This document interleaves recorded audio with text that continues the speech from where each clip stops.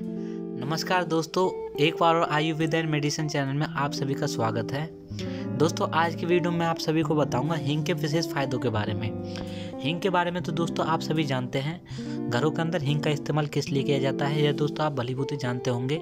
अगर दोस्तों आपको यह नहीं पता है तो आज की वीडियो में दोस्तों आप जान लोगे हींग के विशेष रूप के जो फ़ायदे होते हैं और इससे हमको कौन कौन से आयुर्वेदिक फ़ायदे मिलते हैं, इस सब चीज़ की जानकारी दोस्तों आपको इस वीडियो में मिलेगी। तो चलिए दोस्तों जानते हैं हींग के विशेष फायदों के बारे में।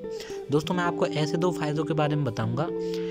अगर आप हींग का इस्तेमाल करोगे तो आपको विशेष रूप से जो फ़ायदा मिलेगा या फिर दोस्तों किसी को किसी प्रकार की प्रॉब्लम होगी, उसमें दोस्तों हींग बहुत ज़्यादा फ़ायदेमंद रहेगा।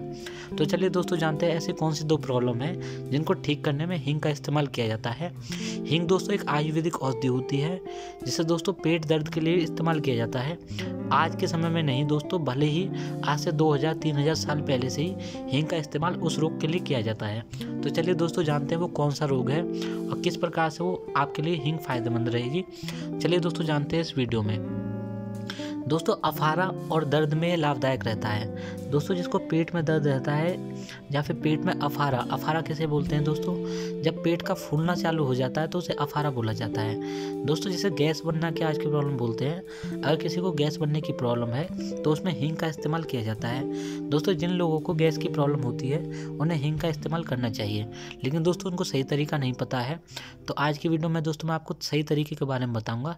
एक ऐसा आयुर्वेदिक नुस्खा, जिसका इस्तेमाल करने से अफारा और दर्द में तुरंत ही लाभ मिलेगा। हींग को जल के अंदर घिसकर नाभि के आसपास लेप करने से अफारा और दर्द में लाभ प्राप्त होता है।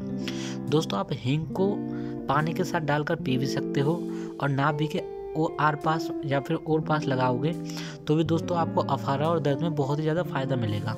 दोस्तों, इसका दूसरा फ़ायदा जान लेते हैं। दोस्तों, जो हींग का दूसरा फ़ायदा है, वो होता है दोस्तों, सर्दी, खांसी, जुकाम में आपको मदद मिलती है। हींग को दूध के अंदर घिसकर छाती पर लेप करने से सर्दी, खांसी, जुकाम में आपको फ़ायदा मिलता है। या फिर दो दोस्तों, दूध के अंदर हींग को डालकर पीने से भी सर्दी, खांसी, जुकाम से आपको राहत मिलती है। तो दोस्तों, ये थे हींग के आज दो फ़ायदे जो कि आपने इस वीडियो में जाने हैं। दोस्तों, आपको हमारी वीडियो कैसी लगी यह हमें कमेंट करके ज़रूर बताएँ।